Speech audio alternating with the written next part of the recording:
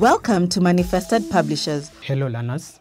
Our topic today is energy changes in physical and chemical processes. I want us to go through the chapter objectives first.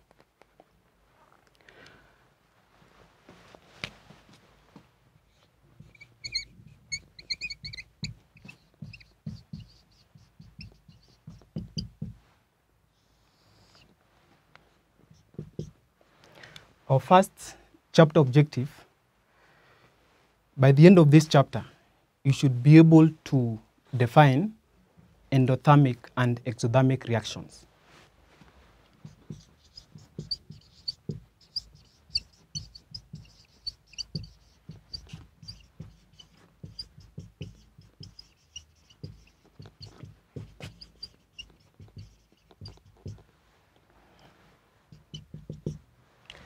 Our second objective is that by the end of this chapter also, you should be able to draw the energy level and energy cycle diagrams.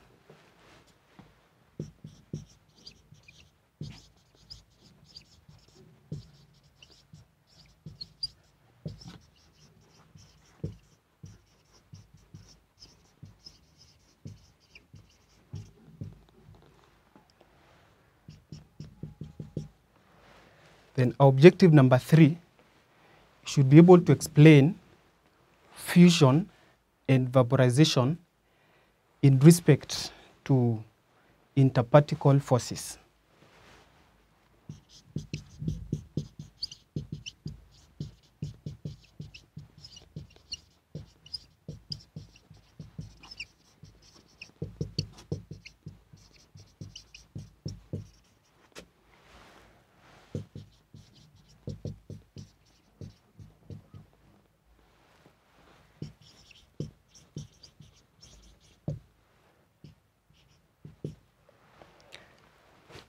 Our objective number four should be able to explain energy changes in chemical reactions due to board breaking and board formation.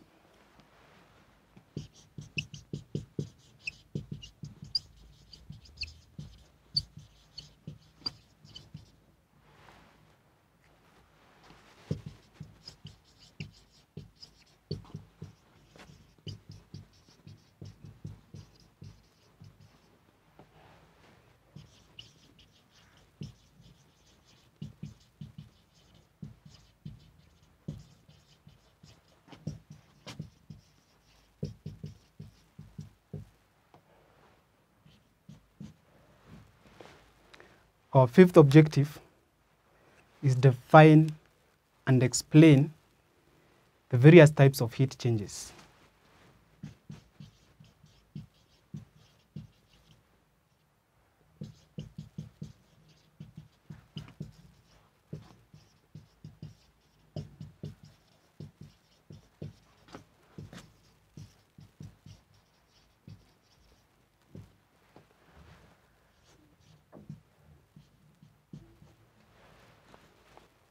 Our sixth objective, you should be able to carry out some experiments to determine enthalpy changes for some reactions.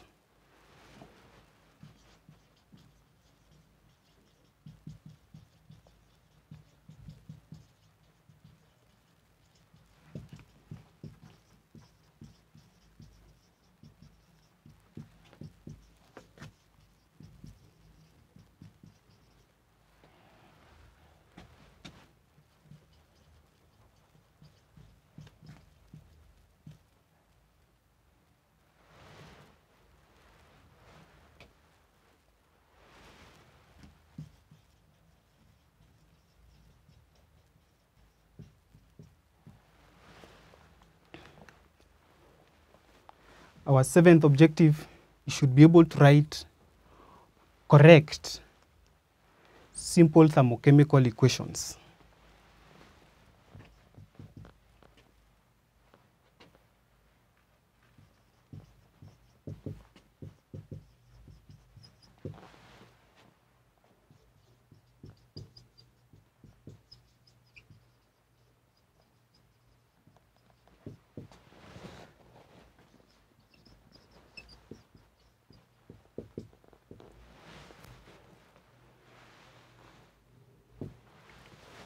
So that's our seventh objective.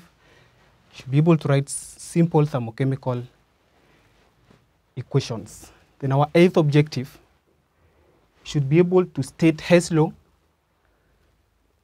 and carry out related calculations.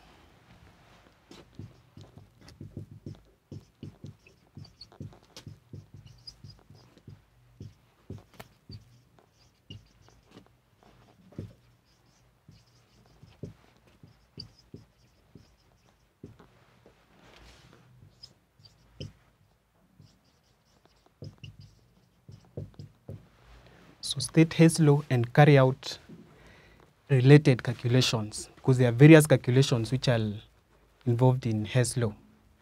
Then our ninth objective should be able to state and explain the factors that influence the choice of a fuel.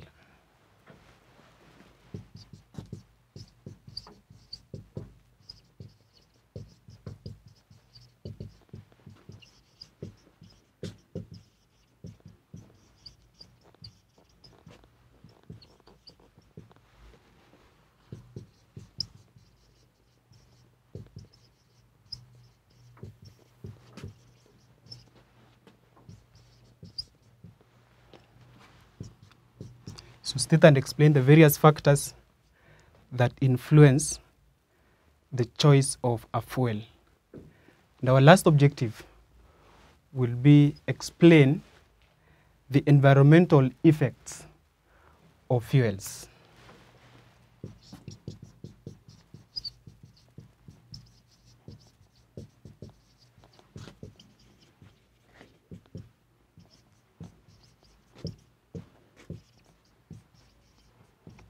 So explaining the environmental effects of fuels. So those are our chapter objectives. So by the end of this chapter, that is what you need to have understood at the end of it all. So the topic is energy changes in physical and chemical processes. You remember again in Form 1, the second topic, which was simple classification of substances, we talked about temporary and permanent changes. So temporary changes, you see that those are the changes which do not lead to formation of new substances. While the permanent changes are those changes which involves the formation of new substances. A good example in physical changes, we gave the example of solid wax. That when you heat solid wax, this solid wax now turns to a liquid. When you cool this liquid, then you'll get back the solid wax. Another example is heating zinc oxide. Zinc oxide is white in color. So when you heat zinc oxide, the color of zinc oxide will change from white to yellow. And when you cool this yellow hot zinc oxide, you'll get back the white zinc oxide. Those are examples of temporally uh, temporally changes, which are also called physical changes. So in permanent changes, we gave the example of heating copper 2 nitrate. Copper 2 nitrate is blue in color. So when you heat the blue copper 2 nitrate, it leads to formation of copper 2 oxide, nitrogen 4 oxide gas, and oxygen gas. So these two gases will escape into the atmosphere. So you cannot now get back the original copper 2 nitrate. Those are some of the things now you need to remember as we go through this topic energy changes in physical and chemical processes. I give you two examples of physical processes which were the candle wax, that one, of the candle wax, and also the zinc oxide. Then in permanent changes, which is also called the chemical processes, that I've given you the example of copper 2 nitrate. So those are some of the things you need to remember as we go through this topic because they will be of great importance in this topic. Just to do a recap of these chapter objectives, by the end of the chapter, you, the learner, should be able to, one, define endothermic and exothermic reactions. Number two, you should be able to draw energy level and energy cycle diagrams.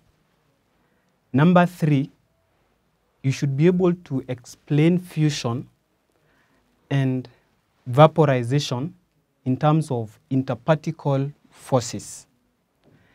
Number four, you should be able to explain energy changes in chemical reactions due to bond breaking and bond formation.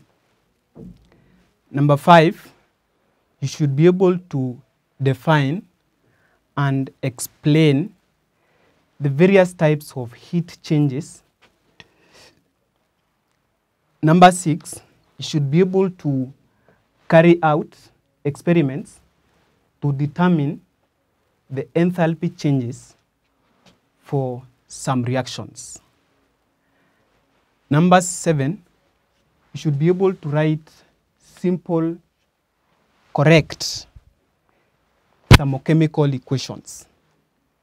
Number eight, you should be able to state Hess law and carry out related calculations. Number nine, you should be able to state and explain the various factors that influence the choice of a fuel. And the last one, you should be able to explain the environmental effects of fuels.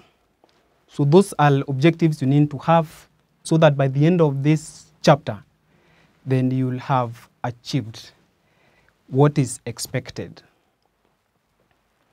So that is the end of our lesson. I have been your teacher, Mr. Mwaniki Nyaga.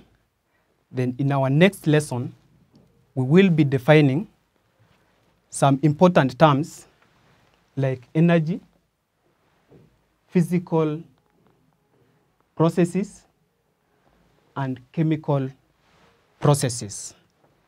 Thank you so much.